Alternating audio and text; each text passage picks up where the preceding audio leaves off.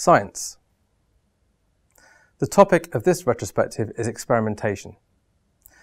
This time, we intend to use the retrospective itself to experiment with some new ideas the team has and use that time to find a tangible output, particularly where there's little time to do that within the project itself.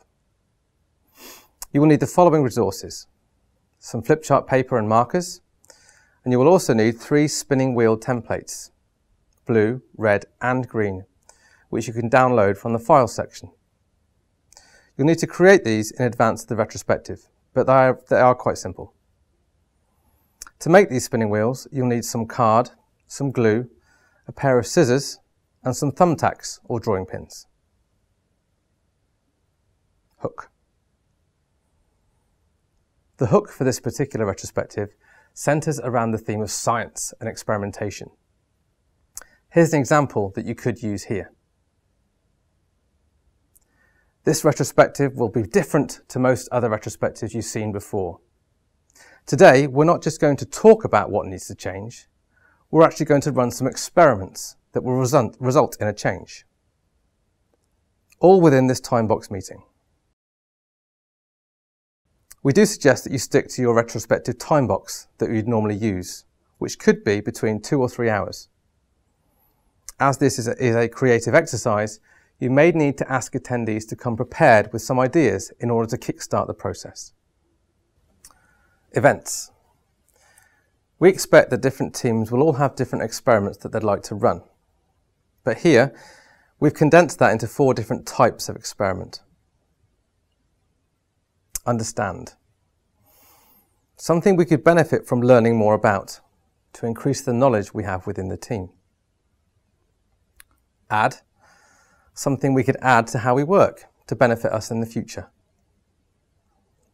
Edit. Something we want to change. And remove. Something we can eliminate in order to simplify our work. In order to choose the type of experiment to run, we suggest an exciting game of chance at this point. Each type of experiment has been added to our Wheel of Chance template that you can download as part of this video.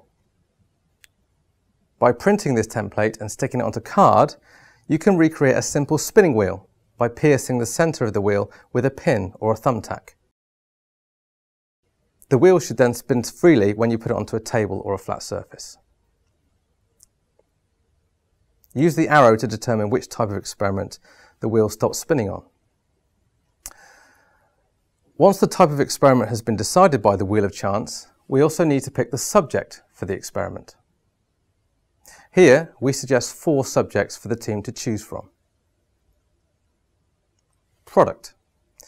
Part of the product we could work on. Now this could be an individual feature, or maybe a defect, or even how the product functions itself. Process, an element of our process that we follow as a team. This could be meetings, such as sprint planning, or a more detailed analysis of how we triage our defects, for example. Environment. Here we mean the team's surroundings.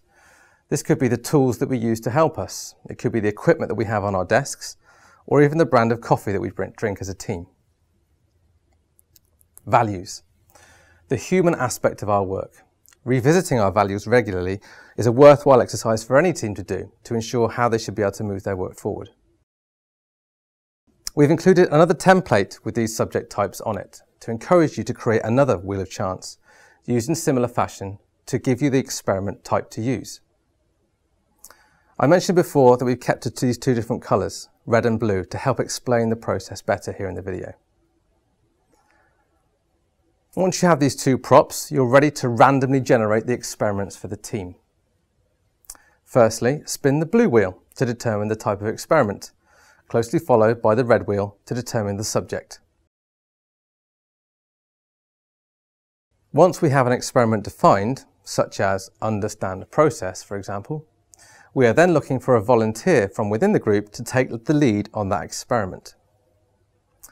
Maybe someone in the team has an interest in understanding a part of that process better. Now, they don't have to exa explain exactly what they intend to do at this point, but just ask them for a high-level summary in order to uh, encourage one or two other team members to help them form a working group in this retrospective.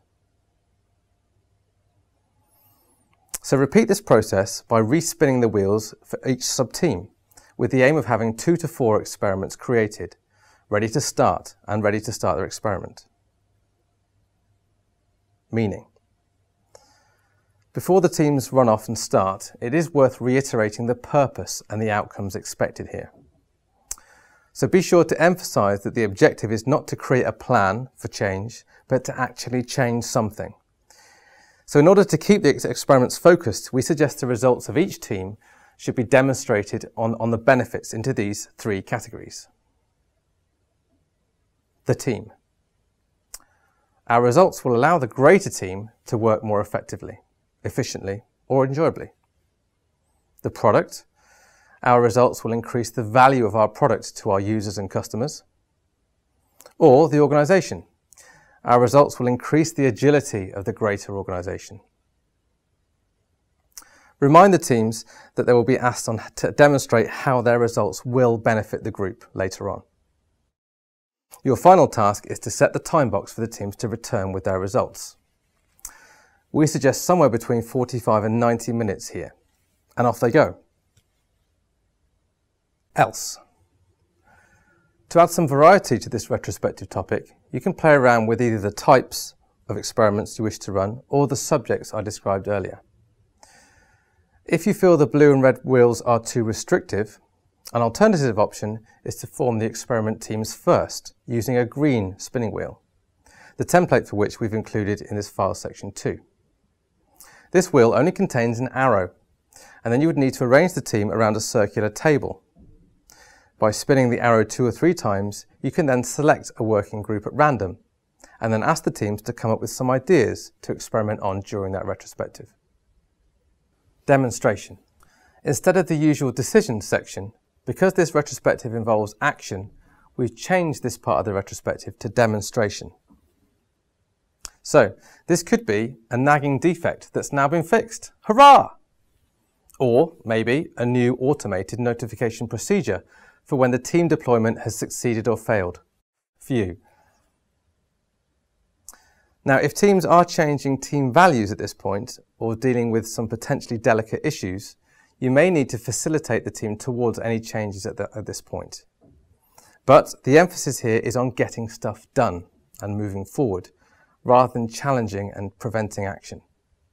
So, in summary, this is a type of retrospective for a great way to energize the team and improve their creativity, whilst giving some time for them to actually make those changes instead of just talking about them all the time. Hopefully, this may even encourage the team to start experiment, experimenting a little bit more at other times in the project.